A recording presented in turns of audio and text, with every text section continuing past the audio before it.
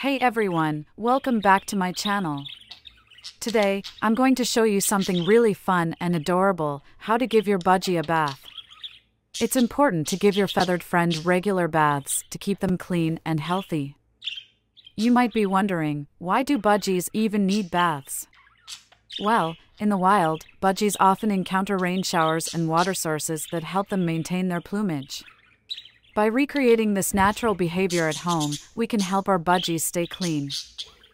Now that we understand why bathing is important, let's talk about when and how often we should give our budgies a bath. Ideally, you should provide your budgie with an opportunity for a bath once or twice a week.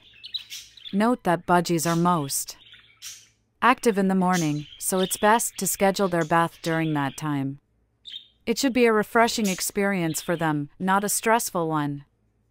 There are several ways you can give your budgie a bath. One popular method is the shallow dish technique. Simply fill a shallow dish with lukewarm water, not too deep, as budgies are not natural swimmers. You can also offer a misting session using a spray bottle filled with water. Just make sure the mist is gentle, resembling a light rain shower. Another fun option is a bird bath designed specifically for budgies, with a textured surface for grip. Before we begin, it's important to set up the bathing area properly.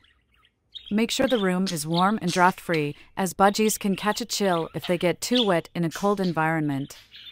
Place a towel or absorbent mat underneath the bathing area to catch any excess water.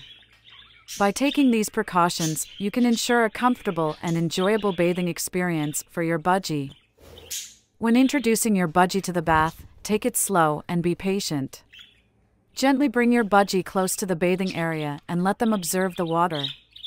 If they seem hesitant, you can demonstrate by splashing a few drops of water on yourself or near by objects.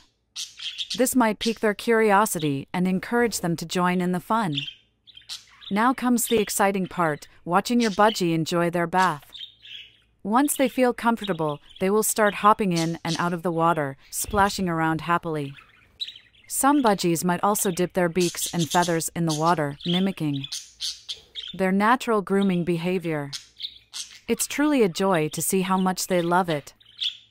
After the bath, make sure to remove the water dish or misting bottle from the cage to avoid any accidents. Your budgie's feathers may be wet, so it's best to give them some time to air dry in a warm room. You can use a clean towel to gently pat dry any excess water from their feathers.